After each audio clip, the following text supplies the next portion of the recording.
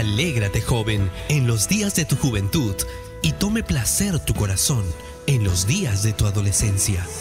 Devoción matutina para jóvenes, una conexión con el cielo que nos permite relacionarnos con nuestro Creador, en la voz de Daniel Ramos, desde Connecticut para el mundo.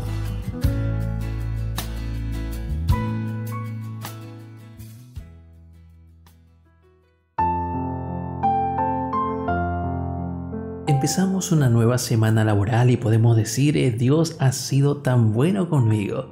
Alabemos su santo nombre, glorifiquemos su poder y hoy empecemos un día tomados de su mano. Para esta mañana tenemos la temática Dios pregunta y nuestro título, ¿no has considerado a mi siervo? El texto bíblico lo encontramos en el libro de Job capítulo 1 verso 8 y dice, Y Jehová dijo a Satanás, ¿No has considerado a mi siervo Job, que no hay otro como él en la tierra, varón perfecto y recto, temeroso de Dios y apartado del mal? En la soledad del desierto de Madián, Moisés se abocó no solo a cuidar las ovejas de su suegro Jetro, sino a escribir los libros de Génesis y de Job. En el segundo contó la increíble historia de este personaje sin parangón. Cinco características se nos dice de Job. 1 no había otro como él en la tierra. 2. Balón perfecto. 3. Recto. 4. Temeroso de Dios. Y 5. Apartado del mal. Qué elevada queda la vara para nosotros. Sin embargo, si un hombre tal existió y su historia es verídica, famosa en la tierra y en el cielo, tenemos la seguridad de que esa ayuda de lo alto está disponible para nosotros hoy, para ayudarnos a sobreponernos de las tentaciones y las pruebas más feroces. Al leer la historia de Job podríamos, como hicieron sus amigos, caer en el error de considerar sus calamidades como una consecuencia de algún pecado.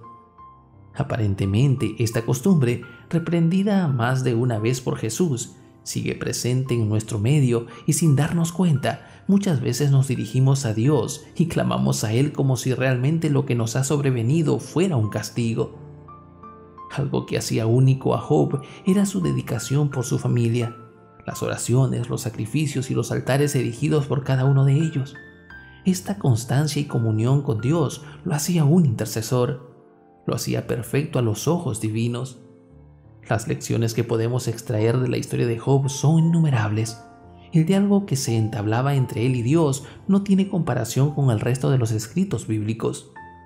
No hay registro bíblico de ningún otro ser humano a quien Dios le hiciera tantas preguntas y dedicara tanto tiempo amoroso, pero firme, para vindicar su nombre y su poder. Hay incalculables riquezas en este libro histórico tan lleno de poesía, dolor lacerante, sufrimiento indescriptible y fe inquebrantable.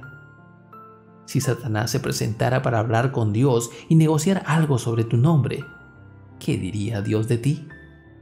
Piénsalo, querido amigo, que Dios obre en tu corazón y en tu vida hoy y que podamos siempre ser el orgullo de nuestro Padre Celestial.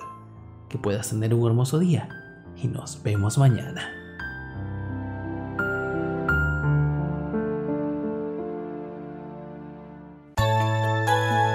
Devoción matutina para jóvenes. La conexión entre el cielo y tú. Un momento en el mejor momento de nuestra vida para conocerlo y vivir como Él vivía. Esta fue una presentación de Canaan Seven Day Adventist Church y DR Ministries. Hasta la próxima.